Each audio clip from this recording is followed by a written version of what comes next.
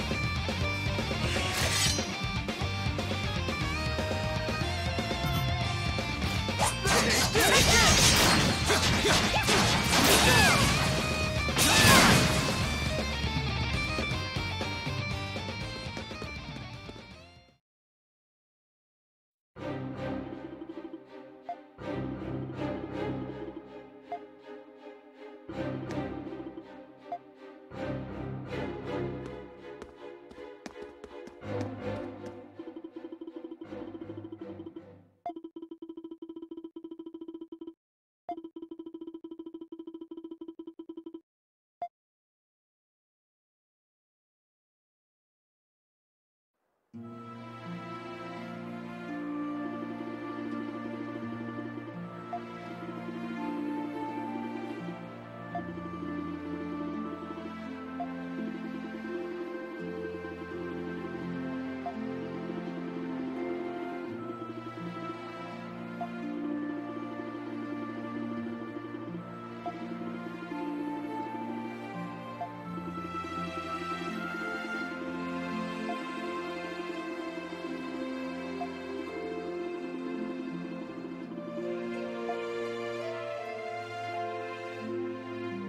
see. So that's what happened in the prison. Anyhow, Adol, take a look at all this.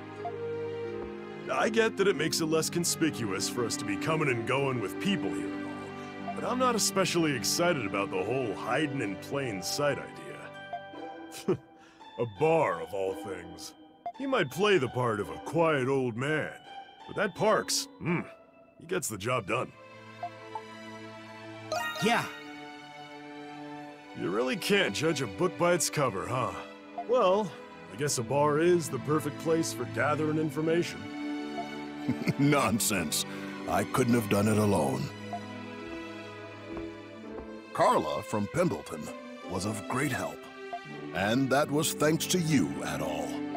That reminds me, Carla mentioned she knew trustworthy people who could staff the bar. Is that so?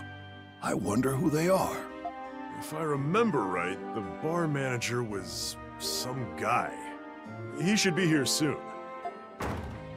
My word! Look at how gorgeous this place is!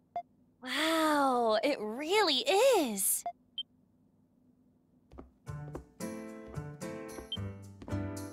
You must be Adol.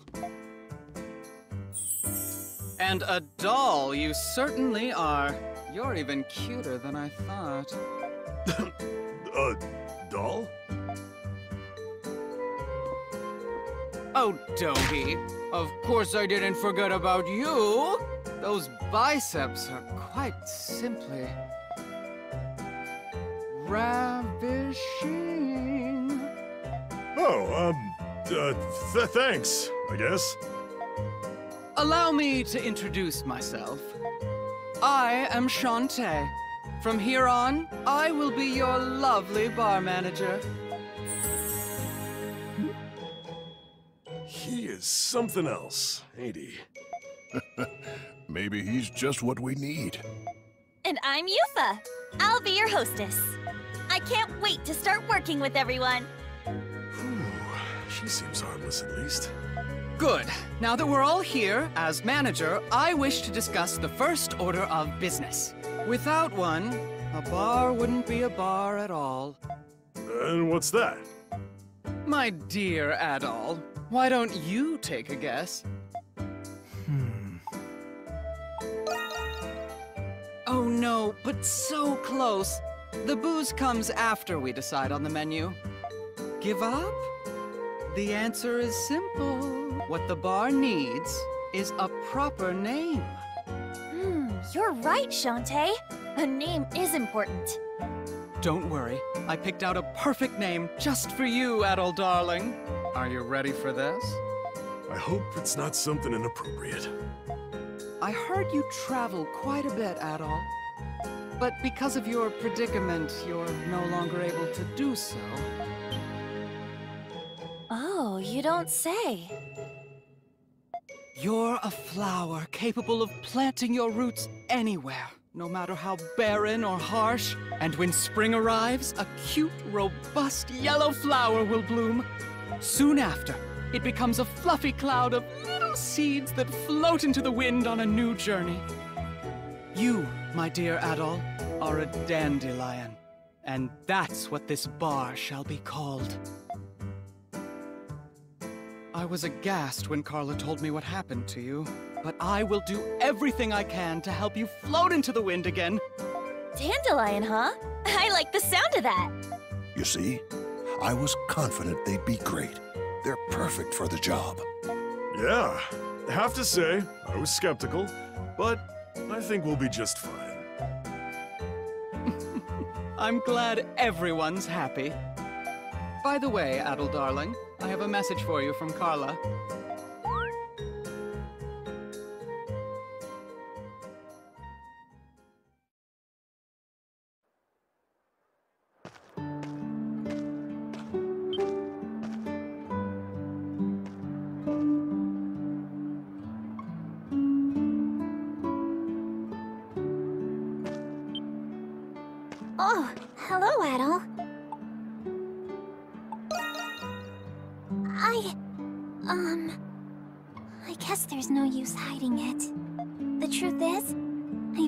Wanted to open a flower shop.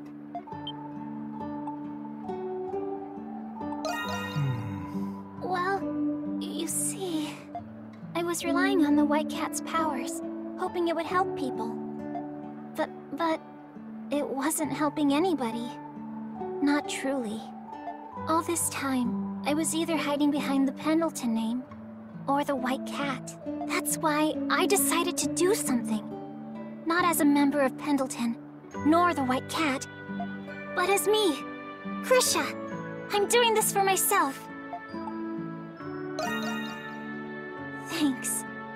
I built the shop and picked these flowers all by myself. I wanted to give it a personal touch. and best of all, I can consult for my own business free of charge. oh, it's nothing to be impressed about. Before this, everything I did was a result of a decision someone else made for me. But you're different, Adol. You travel on a road to your own destination. And if a road doesn't exist, you make one. yes. I think you've inspired me to be brave. Like you, Adol. Look, they're building something new here. Are you opening a shop here? Y yes, ma'am. It'll be open for business very soon. I hope you'll all have a chance to visit. What kind of shop is it gonna be? It's already a lovely sight for sore eyes in this dreary part of town.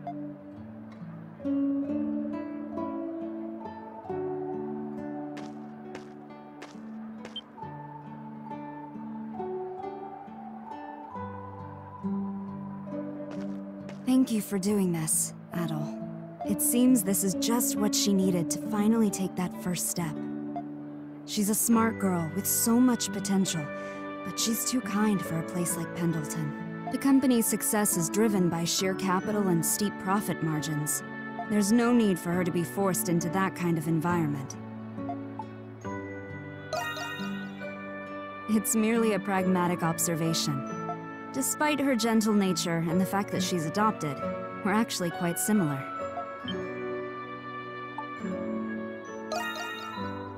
Oh, I suppose I haven't told you. But whether or not we share the same blood is of little significance to me. I wouldn't treat her differently for something as trivial as that. There's no need for thanks. Think of it as a favor returned for helping Krisha and me. Since you'll be in Balduq for a while, I'm sure we'll meet again soon. Huh. Interesting. So this is the adventurer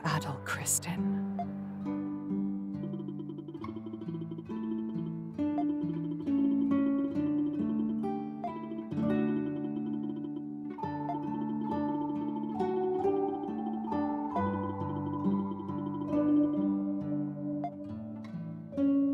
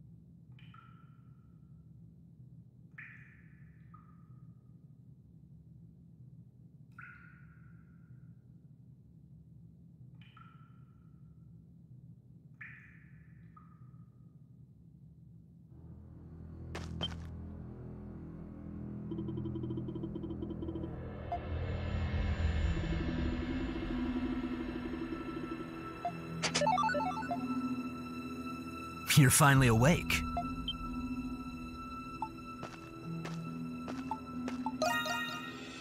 As you can see, I'm a guard. I'm afraid I don't know. I've just been assigned to watch you. Sorry, but I don't have the answers you want. I'll bring you food and water, and I'll check up on you on my rounds. Don't try anything funny, okay? Even if you somehow get out of that cell, you'll never find your way out of the prison. Recently, some monstrum called the Crimson King supposedly snuck in. There was a big fuss about it, but we're safe here. No one gets in or out. We're in the most secure part of the prison, the special sector.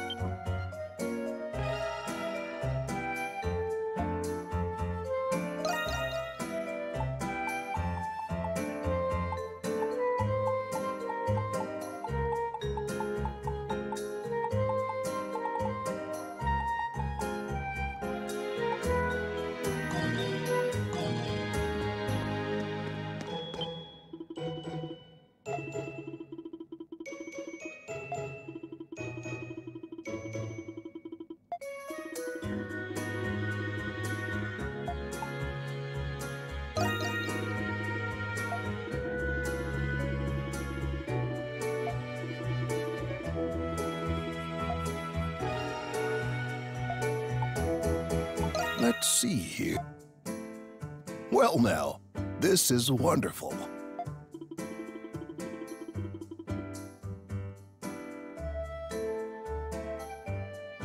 It's not much, but here.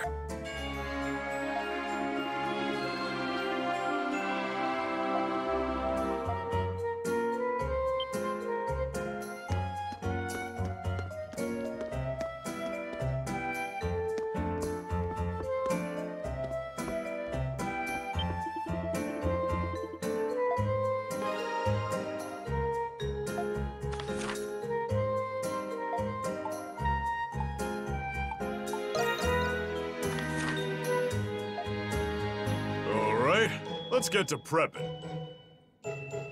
Let's do this. That's a wrap. Leave it to me. Leave it to me. what do you think? Leave it to me. what do you think? Let's do this. That's a wrap. That should do it. Which do you want? Backing out? You just let me know.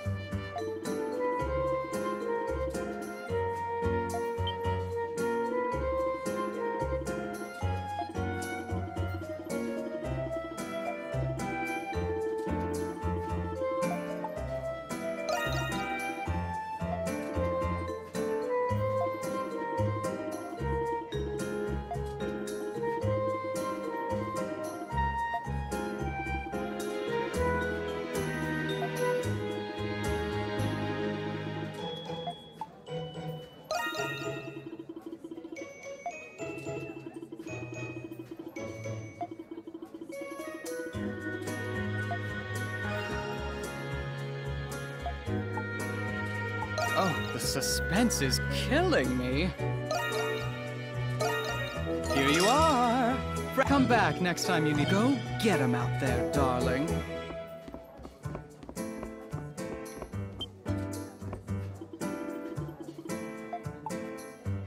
Yeah.